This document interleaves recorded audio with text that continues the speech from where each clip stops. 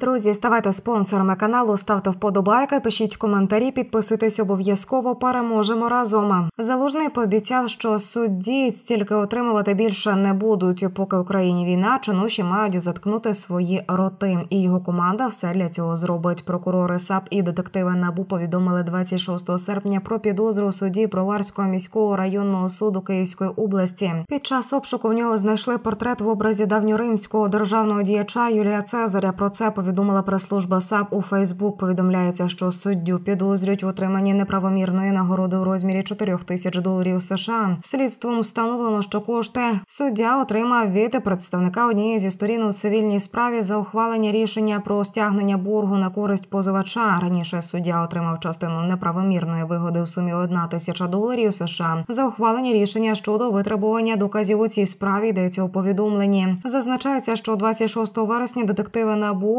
також співробітники СБУ викрили підозрюваного на отриманні другої частини неправомірної вигоди 3 тисячі доларів. Наразі триває досудове розслідування. САП опублікувала фото обшуку підозрюваного. У нього вдома було знайдено портрет судді в образі Цезаря. Зазначимо, що такий самий портрет 2014 року було знайдено вдома у генпрокурора України часів президентства Віктора Януковича Віктора Пшонки. Щоб ви собі розуміли, в Україні пенсії суддів із квітня 2022 до квітня 2024 збільшилися на 5,3 тисячі гривень і становили 97,7 тисяч гривень на місяць. При цьому за останніми даними більша частина українців на заслуженому відпочинку отримує пенсію у розмірі до 3 тисяч гривень. Це випливає із даних звіту ПФО, який є у розпорядженні обозрівателів у своїх прес-релізах. Пенсійний фонд перестав вказувати розмір пенсій суддів. Проте у звітах фонду все ще вказують окремим рядком розмір виплат для суддів у відставці. Їхня пенсія за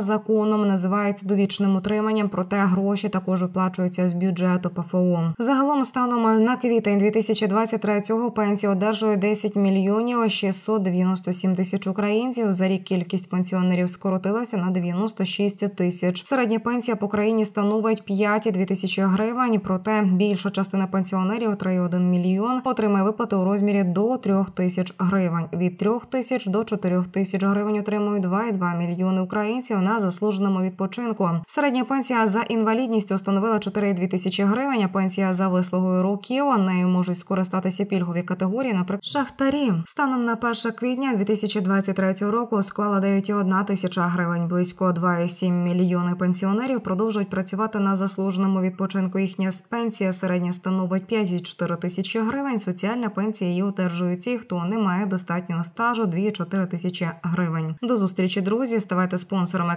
каналу, вподобайки, пишіть коментарі, підписуйтесь обов'язково. Переможемо разом.